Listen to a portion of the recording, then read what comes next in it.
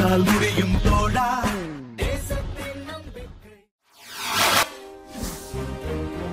நாகப்பட்டினம் மாவட்டம் தன்னிலாபாடி ஊராட்சியில் கொரோனா தடுப்பு நடவடிக்கைகள் தீவிரம்.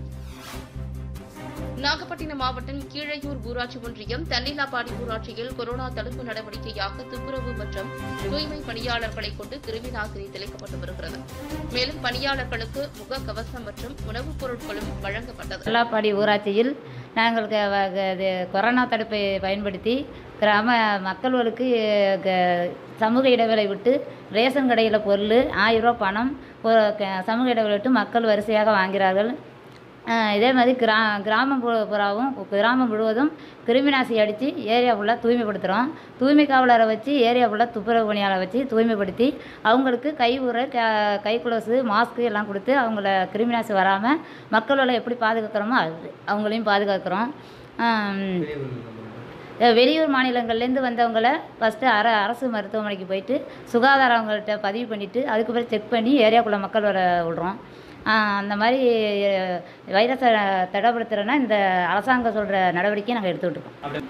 தன்னிலப்படி ஊராட்சியில் கொரோனா வைரஸ் தடுப்பு நடவடிக்கை நடைபெற்று வருகிறது. வீடு வீடாக போய் தெளிப்பாக அடிச்சிட்டு வந்துட்டுருக்கோம்.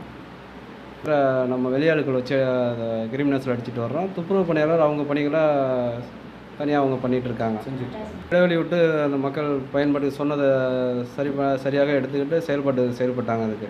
இலவச பொருட்கள். இலவச பொருட்களை இடைவெளி விட்டு மூணு மீட்டர் இடைவெளி விட்டு வாங்கிட்டு போயிட்டு இருக்காங்க. ஒன்றும் பிரச்சனைகள் வரல.